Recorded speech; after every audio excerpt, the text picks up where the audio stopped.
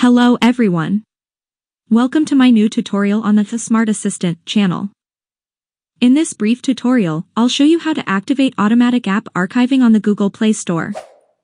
This useful feature allows you to preserve previously installed versions of apps, ensuring continuous access even after updates or removals from the Play Store. Additionally, it helps free up space on your device by automatically archiving less used apps as memory starts to fill up. Archived apps aren't permanently deleted but stored on the device for later use.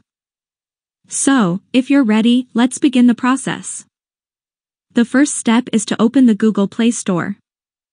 After that, in the top right corner of the screen, tap on your profile. Now, locate the Settings option and tap on it. Once you've done that, now tap on the General option. And finally, find the Automatically Archive Apps option and tap on the switch next to it. That's all there is to it regarding automatic app archiving. Very easy and straightforward. I hope you found this video helpful. If you did, please like and subscribe to my channel. Thank you so much for watching, see you soon.